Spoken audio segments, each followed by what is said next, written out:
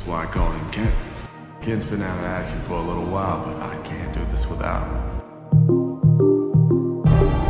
This is not a very good plan. Yeah, well, bad plan is better than Maybe there were a third option.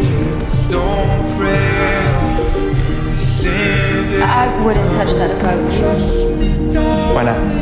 Because that helmet is from another planet. It's millions of years old. It chooses who it lets touch it. Like Kent?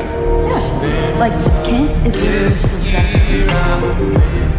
What happens if I touch it anyway? We'll crush him too. We know who you are and what you are capable of. There's no place for you in the world of man.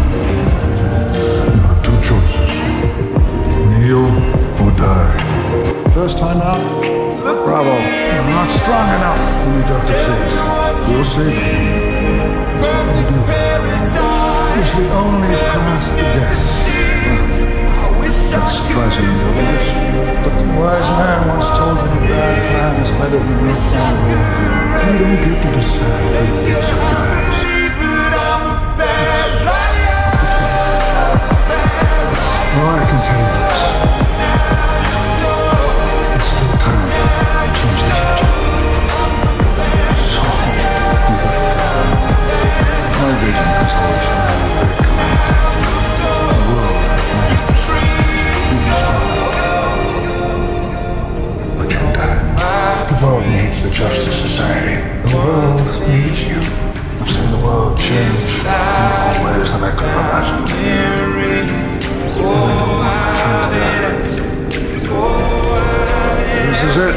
We can't win, Carter.